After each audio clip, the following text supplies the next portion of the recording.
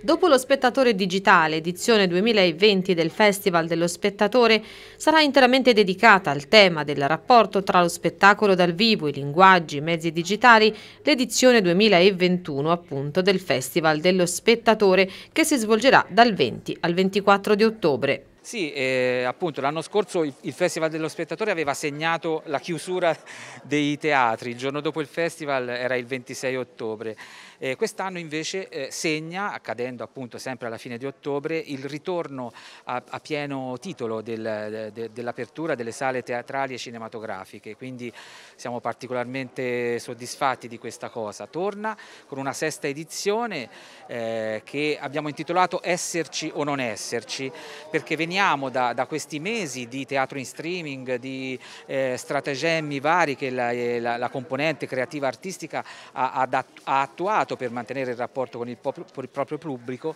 appunto all'esserci. Eh, non posso raccontarlo qui perché sono più di 25 appuntamenti nell'arco delle 5 giornate, dico che c'è spazio ovviamente sia per lo spettacolo, spettacoli di nuova drammaturgia, alcune prime nazionali, eh, sia per la riflessione, l'approfondimento appunto eh, giornate di studi dedicate ancora ai linguaggi del, del, del, linguaggio del digitale abbinato alla poetica teatrale, ma anche una giornata di studi importante il venerdì sulla cultura della sostenibilità e la sostenibilità della cultura. Questo tema della sostenibilità per, eh, legato in parte all'Agenda 2030 che vogliamo affrontare per quello che riguarda le tematiche culturali. E poi, scusate, la, la, la, reunion, la reunion, degli spettatori d'Italia che si danno appuntamento il sabato 23,